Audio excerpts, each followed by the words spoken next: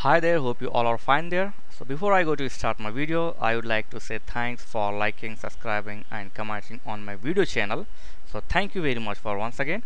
So to, today's topic is how to change default web page in Microsoft Edge.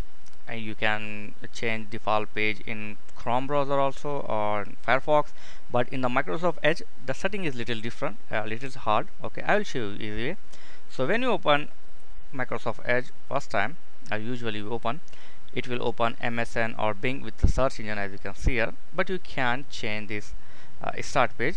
So just click on three dot button like more and now click on starting.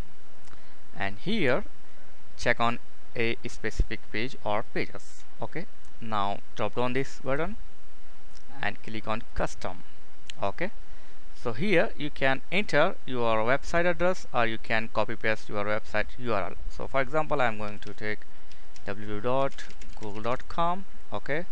If you want you can enter uh, one or two uh, websites. Like I'm going to take my second like this is a Be Social Shine is my website okay? So after this you, if you want you can close this about the start. This is a blank page okay? So I have entered two pages. Uh, one is uh, Google one is my website.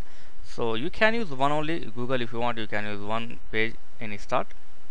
Okay so after this click on X and last now try to open this. Okay boom. So as you can see it two pages is open right here. One is Google and another one is my website.